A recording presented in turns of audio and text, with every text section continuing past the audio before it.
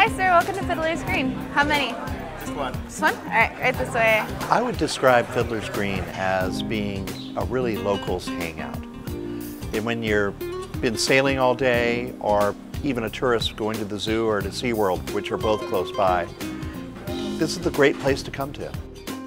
The name Fiddler's Green originated from Irish folklore.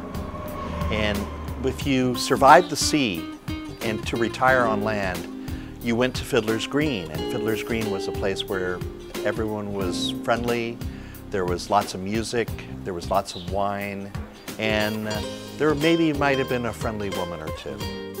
From the moment that you walk into Fiddler's Green, you're, you can see that it's become kind of a, a monument to local sailing in San Diego and America's Cup memorabilia. Many of the people that gave us models of their boats to put on the wall here wanted them here because they wanted to be part of Fiddler's Green. Uh, the model maker, Ken Gardner, that made most of these models for us, is considered to be the best in the world. And I think we have probably the largest collection of his models anywhere in America. Here at Fiddler's Green, it's about local people. People that come from the local area that sail here.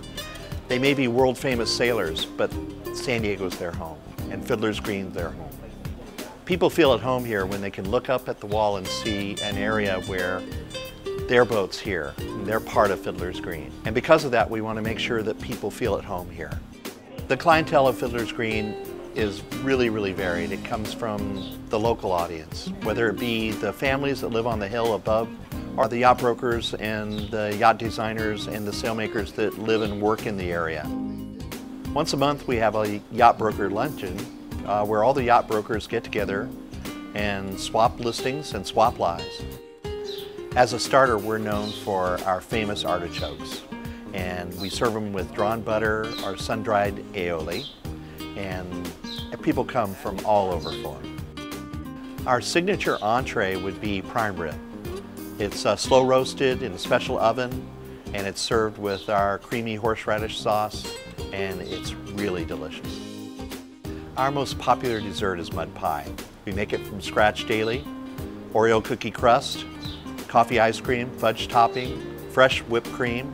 If there's room for dessert after dinner, then mud pie is the best choice. For this, I would pair one of our local favorites, Cabernet Sauvignon from Brookside Winery. At the end of the day, I want my customers to leave Fiddler's Green feeling they've had a great experience. Whether they be a local or a world traveler, I want them to always feel like they can come home to Fiddler's Green.